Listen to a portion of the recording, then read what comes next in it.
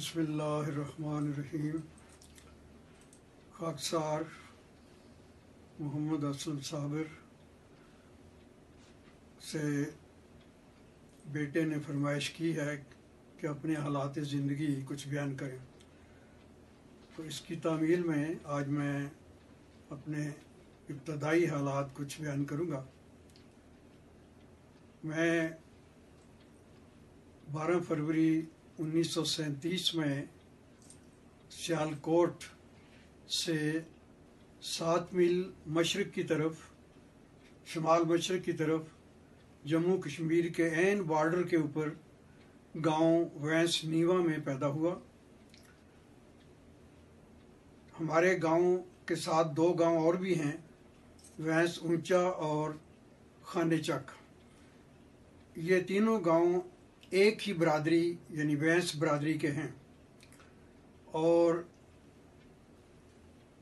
ये बताया जाता है कि दो तीन सौ साल कबल एक सिख बुज़ुर्ग गुरदासपुर से यहाँ आए। उन्होंने 600 एकड़ ज़मीन यहाँ ख़रीदी और दो दो सौ एकड़ अलग अलग करके अपने तीन बेटों में तकसीम कर दी।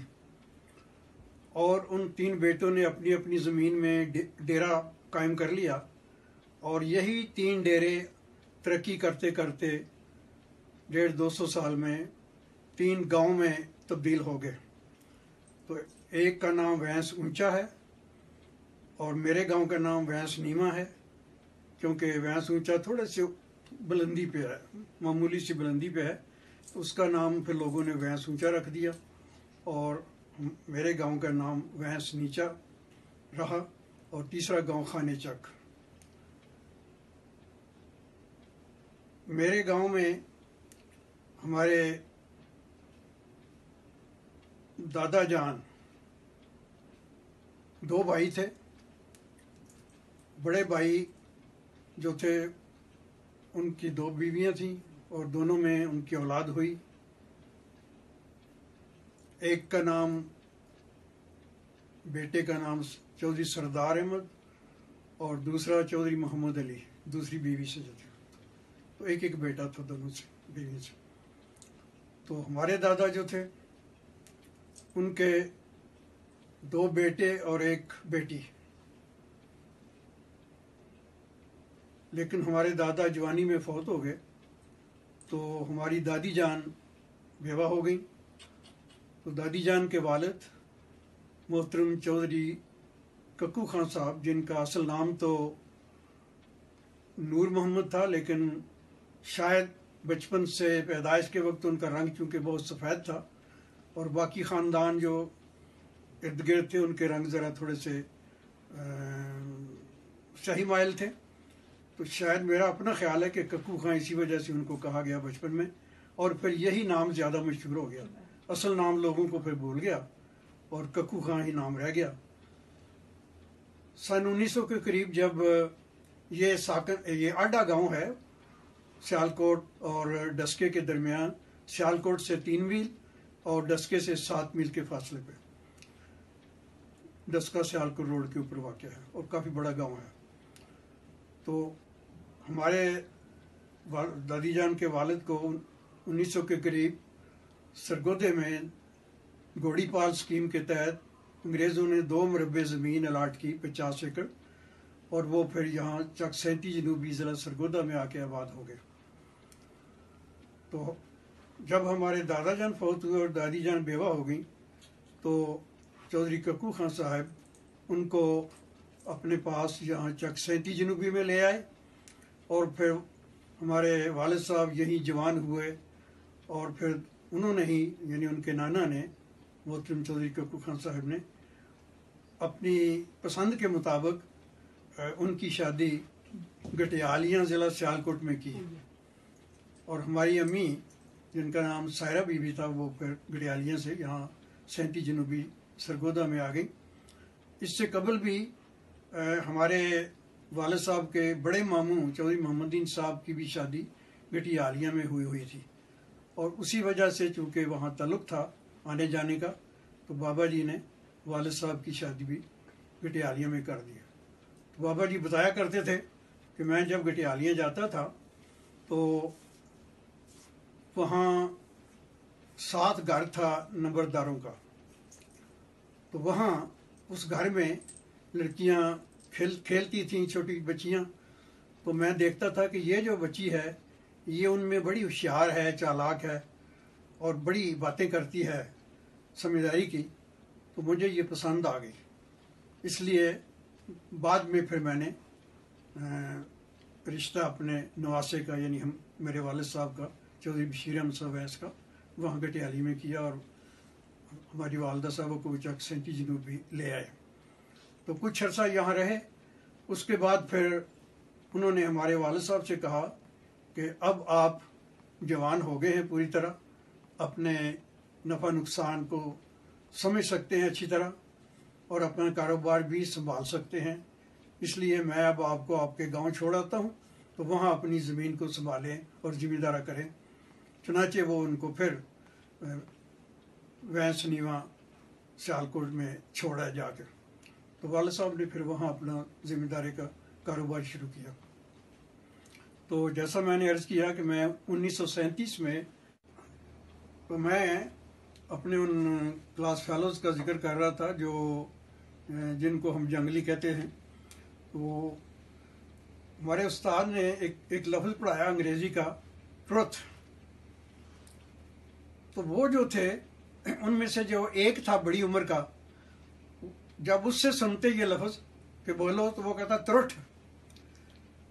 तो वो फिर कहते, कहो ट्रुथ लेकिन जब वो बोलता तो कहता त्रुठ दो तीन दफ़ा जब उसने ऐसा कहा तो फिर उन्होंने लफ्ज को तोड़ के उनको बोलने की थोड़ी सी मश करानी चाहिए तो कहा, कहो, टा, रुथ. ये तो वो कह लेता था, टा, रुथ. टा, रुथ। दो तीन बार उन कहो, टा, रुथ. टा, रुथ तो लेकिन जब इकट्ठा कहा कि कहो अब ट्रुथ तो उसकी ज़ुबान से फिर निकला त्रुठ तो इस पर वो मायूस हो गए और गुस्से में आके उन्होंने ये लफ्ज़ के कि चोरों के बच्चे यहाँ बाबू बनने आ जाते हैं। तो ये एक दिलचस्प वाक्य मुझे बचपन का, उस इब्तदाई ज़माने का याद रह गया जो मैंने बयान कर दिया। तो बहरहाल एक साल मैंने वहाँ जूनियर स्पेशल क्लास में इंग्लिश पढ़ी। उसके बाद फिर सातवीं जमात में हो गए, एक साल के बाद तो फिर एक साल के बाद इसी जमात का वाक़ है कि inspector of schools, Rawalpindi division, वो मायने के लिए, विज़िट के लिए हमारे स्कूल में तशरीफ़ लाए। तो सवाल किया उन्होंने, एक इंग्लिश की कोई लफ्ज़ पूछा, सारी क्लास तो मैंने हाथ खड़ा किया। तो मुझे कहने लगे कि अच्छा बताओ, खड़े होके। मैं खड़ा हो गया। तो मैंने उसके माने बता दिए, वो सही माने मैंने बताए। तो वो दिल में बड़ा खुश हुआ और हमारे उस्ताद से कहने लगा कि, काश ये मेरा बेटा होता। तो ये भी एक वाक्य मुझे याद रह गया है। तो सातवीं के बाद फिर मैं आठवीं जमात में प्रमोट होके आया। तो आठवीं जमात में मैं चूँकि क्लास में सबसे टॉप पे रहता था इम्तहानात में तो मेरा उन्होंने नाम भिजवा दिया वजीफ़े के स्कॉलरशिप के इम्तहान के लिए। वजीफ़े का इम्तहान वो होता था हाई स्कूल चौकी बागट, जो वहाँ से कोई दस बारह मील के फासले पे है स्कूल तो वहाँ उन्होंने मेरा दाखला भिजवाया स्कॉलरशिप के लिए, इम्तहान के लिए। तो जब वक्त आया इम्तहान का तो चूँकि और भी कुछ तलब इलम थे मेरे साथ तो हम वहाँ गए। मुझे याद है कि गड्ढे के ऊपर हमने अपने बिस्तर और चार पहियाँ लाद ली और साथ साथ गड्ढे के हम चलते रहे और ये दस बारह मील का फासला पैदल चल के हम भागटा वाला पहुँच गए। भागटा वाला जो है, ये उस वक्त तो बिल्कुल सिर्फ़ नाम ही था आबादी कोई नहीं थी, सिर्फ़ लारी अड्डा था। इर्द गिर्द के गाँव से लोग आके वहाँ खड़े हो जाते थे।